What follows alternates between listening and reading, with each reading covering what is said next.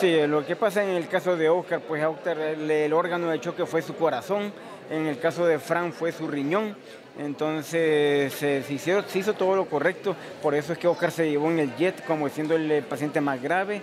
Eh, y a pesar de todo, pues igual seguimos confiando en Dios que tome la última palabra y que pues, los pongamos, los podamos tener de vuelta a estos jóvenes héroes eh, pr- próximamente, ¿verdad? Vamos a estar en constante comunicación todavía a diario con el doctor Barnica y el doctor Vélez, el cirujano y el médico que los está atendiendo diariamente a esos jóvenes. Que ¿Se les continuará aplicando injertos de pieles? Claro, esto es un proceso que continúa. Recordemos que hay que reemplazar 70% de la piel del cuerpo. Es un proceso que cada 12 días se están llevando a tomar injertos propios. Ahorita están con injertos de cadáver y posteriormente ini- iniciarán los injertos propios con su propia piel. ¿Quiénes acompañan en representación de Honduras?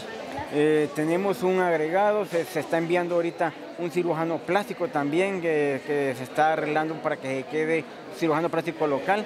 Ya el doctor Omar Mejía ya regresó el día de ayer y se mandará un reemplazo para que esté junto con el agregado militar y esté junto con hay alguien de la base de la, de el cuerpo de la Marina de México, que es un médico que está las 24 horas al pie de la cama de los pacientes.